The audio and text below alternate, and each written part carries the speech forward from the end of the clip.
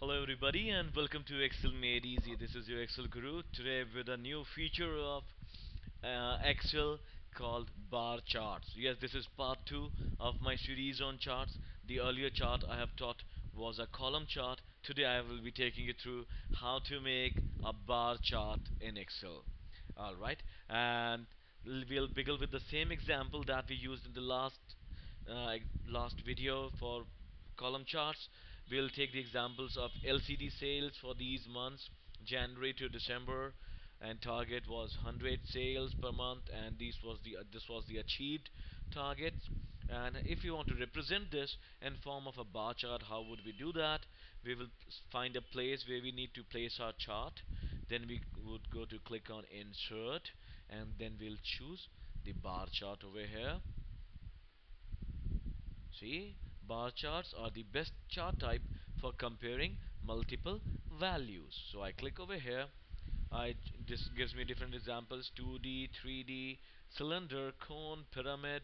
So I'll choose 2D first. I'll tell you how to make it into convert it into 3D. Now once this comes over here, now this is the area of the chart which we'll be able to adjust later. Then we right click on it. We have to select the data alright so we go over here and select our data. And once you select our data all we need to do is press enter.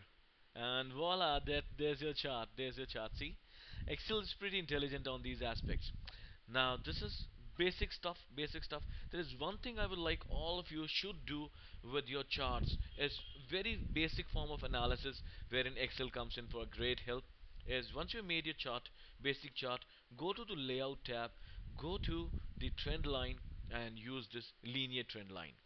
It adds sets a linear trend line for the selected chart series. So it once you click over there it'll, it'll tell you for which aspect of your chart would you like to have the trend line the target or the achieved.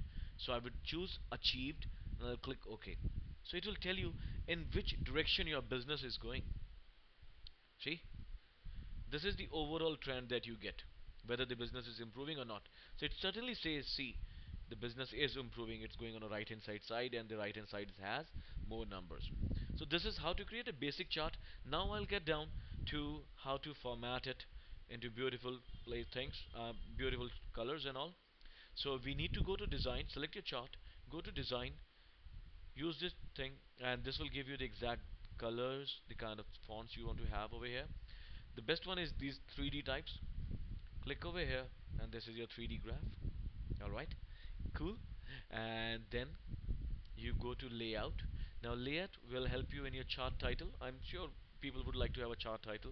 So you can use this to have a chart title overhead or above chart. So we'll choose above chart and you can type it LCD that's what you want to type L C D press enter and you got your LCD over here and then we'll click again on my chart.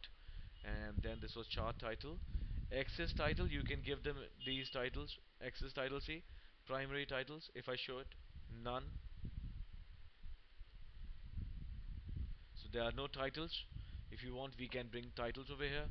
The legends are these are called legends. As of now we are showing them on the right hand side. Achieve target linear. We can show them on top see? They move to top we can take them to left bottom uh, I believe the the right hand side is okay. I to kind of don't prefer the having these at all. And then comes data labels very important. Data label would show you values corresponding to these the length of these lines. Say best to have center so you'll see the data over here. You can have the data in the inside and just uh, just close to the end of the uh, of the bar or you can have them inside base outside end. See? Isn't it easy to work? And then you can have your data labels. You can show your data label below. This is your complete data label which is getting reflected over here. This is not a very very nice way to reflect data. Not a very nice way to reflect data. So we'll change it back to that. And sorry can have? None. Alright and then these are axis whether you want to show your axis line details or not. Grid lines again this back stuff that you see lines. Do you want to show them? Show major show minor grid lines. And now important thing a lot of people ask me this. Uh, if there is some data that we would like to paste this graph now from Excel to say Word or to another Excel file or to a PPT there's a common thing to do that. Right click on it sorry click on it do a control C and then open up a new file. Let it be any kind of file and then do a control V. Now as soon as you do a control V uh, usually if the file is of a different format the coloring would automatically change. This happens very commonly with PPTs so what you need to do is this small clipboard design that you see. Click over here on the drop down paste options click on keep source formatting. And the formatting would be the same. This is how you will be able to get the data for you. Alright and now this file that you're looking at this excel file is available for free download on my website excelmadeeasy.weebly.com yes this is my website. You just need to go to the training files and download the file from there so that you can follow along practice along or just keep it for your reference. The video that you're looking at is on my youtube channel just click on the subscribe link and whenever there's a new update uh, YouTube would inform you that a new video has been added by me. All you need to do is subscribe sign in or sign up on my website. I have my social networking links. Do follow me on Twitter and do like me on Facebook. I'm running a campaign.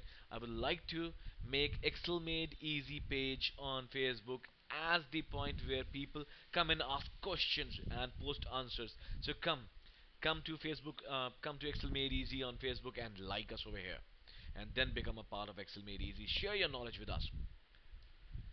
So this is your Excel Guru signing off for the day. Have a wonderful day ahead. Happy Excel learning.